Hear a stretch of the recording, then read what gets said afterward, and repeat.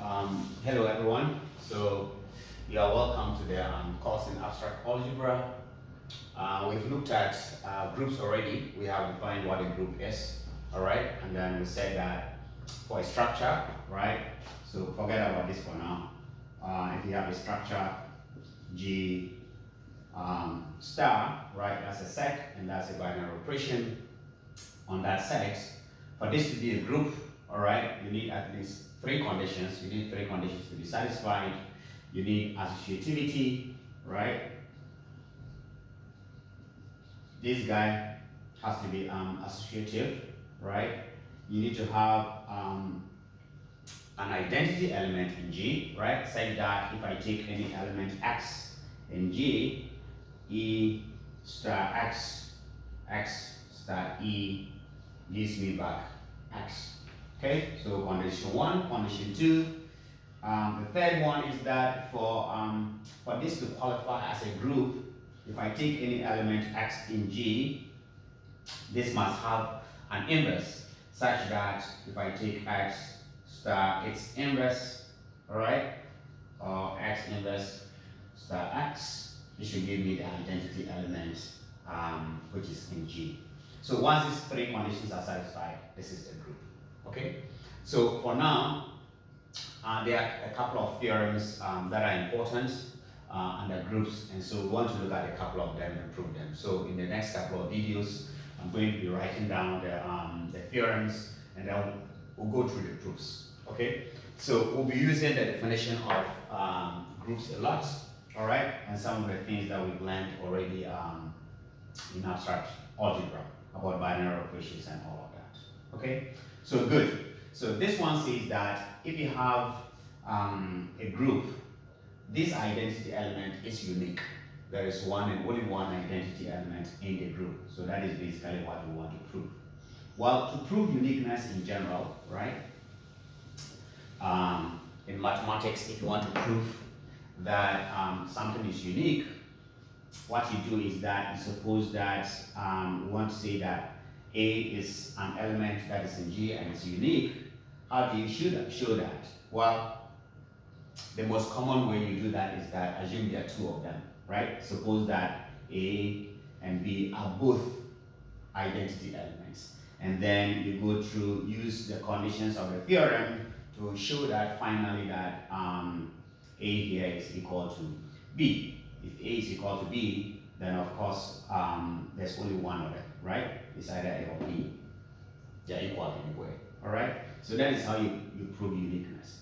So we want to show that um, if, if G is a group and there's an identity element, there's only one identity element.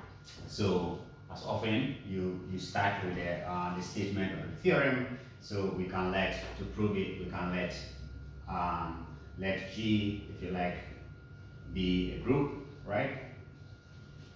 That is given to us. And uh, you can let E1, E2, all right, which are in G, be identity, identity elements, okay?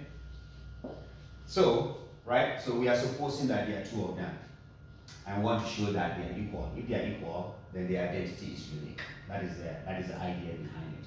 Well, if E1 is an identity element, then from the definition of a group, we know that if I take E1, if, if X, for instance, is an element in G, then we know that since E1 is an identity element, E1 star X must be equal to X star E1, and this must give me X back right? You can call this equation one want. Also, right? Also, since E2, we are supposing that E2 is an identity element. It also means that E2 star X, X star E2, this also must be equal to X. That is because we are assuming that both of them are identity elements. Okay?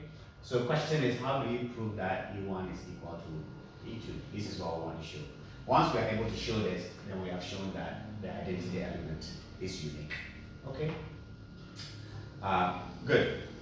So now from um, from uh, these two equations, note that note from one. One says if I take any x and operate it on E1, right? X on E1 or E1 on X, I should get back X. This X can be any element in, in G, okay? Now, E2 here is an element in G, so we can replace X with E2, right? So since, since E2, right, is an element in G from equation 1, from equation 1, we can write E1 star E2 must be equal to E2 star E1. This must give me must give me E2. If you want, this is you can call this equation 3. You see that? And then from equation 2, we are saying that E2 is an identity and I can operate it on any element. Well, E1 is an element in G, so I can replace X with E1. Okay? So again, since E1 here is an element in G, then from equation 2, I'll have that E2 star E1 is equal to E1 star E2. That should give me back E1. Call this equation 4. Okay? So now from 3 and 4, right? From 3 and 4, okay? E1 there, see that E1, if you like, E1 is equal to this guy, or maybe it's even easier. E1 is E2 star E1, alright? But from equation 3, E2, E1 is equal to E2. This is equal to E2. Therefore, E1 is equal to E2. Hence, right? Hence the identity, the identity element is unique. Okay? So that is often the um, how you prove uniqueness in general, right? Assume there are two of them. If there are two of them, they should satisfy these conditions. From these conditions, we can show that E1 is equal to E2 and therefore the identity element is unique. Okay? Good. Um, also in a group, remember that in the definition of the group, you have uh, an inverse. If I take any element x in the group G, right, x must have an, uh, an inverse, say x to the negative 1, right? So we want to show that the inverse of any element in the group is unique as well. Otherwise, if I take x, I can't have two, two uh, inverses, all right? So let's, um, let's write that theorem down and then um, prove it, okay? So we have careful here. So let G be a group, um, and let X be an element in G. Okay, so let me write down the formal statement that you have uh, in your notes. Uh, let this be a group and let X be an element in G. Okay, then then X has only one inverse in G. Okay? This, I think, this is called theorem two points in your notes. I'm only writing this because that's the same thing in your notes. Okay? So, um, if G is a group and X is um, an element in X, then X, there's only one um, identity element, right? It has only one identity element. So we're going to use the same, the same uh, trick, right? As we did for this one, for the identity. So how do we prove that? Okay, so to prove it, to prove it, again, you assume that there are two inverses. So suppose, so you can let, again, let G, you always start with the statement of the theorem, right? Let G be a group group and let x be an element in G and E, uh, of course in G, be the identity, identity, All right, once a group, it has an identity element. Okay. Also, let A and B be inverses of X. I'm assuming that X has two of inverses, A and B, and then I'll prove that A is equal to B. Okay? If A is equal to B, then the inverse uniqueness of not identity of inverse. Okay? Uniqueness um, of inverse. Okay? So, so you write down the nine statements um, from here, and then this is based on the fact that I want to prove um, want to prove um, uniqueness. Well, from the definition of a group, right? If A is the inverse of X, then if I take A star X and I take X star A, right? It should give me the identity element, right? I'll call this one. Since B is um, an identity, if I do this, and I do star B, this should also give me the identity element. Let's call that equation 2. Okay? So, um, we want to we want to show that no that I want to show that A is equal to B. This is this is this is where we are going. So you always must keep an eye on on that, right? This is what, really what you want to show.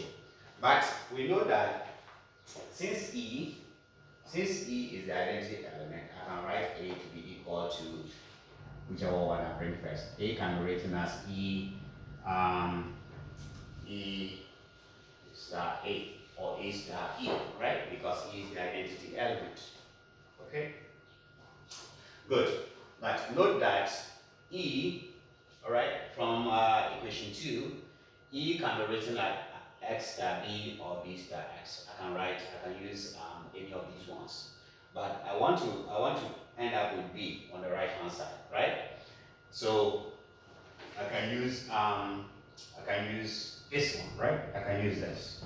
So in place of E, I can write E as B star what? X star A. You see that? Okay. Now, right, because E, E from equation 2, E is equal to B star X. Okay. Now, it's a group, so star has an associativity, right? So I can use the associativity here. I can write this as B star X star A. Okay? I can rewrite this as that. Now this is equal to B star. Now from equation 1, X star A is equal to E. So this is actually E. Okay? But E is the identity, so B star E gives me B. Okay? So this implies that A is equal to B. Hence, the inverse inverse of any x in G is unique. Or there's only one, one and only one inverse. Alright? And um. Okay? And also there are various ways you, you could arrive at, this, right? Using various combinations of this, but the idea is the same. You could you could start with B instead of with A. You can also start with B and then follow the same procedure to end up with B is equal to A. Okay, so you could try that. Okay? Okay, so um, I'll pause this one and I'll write down, um, I want to reduce the size of my videos. So I'm going to pause and then write down, do two more theorems, okay, and then and then we'll go we'll go from there.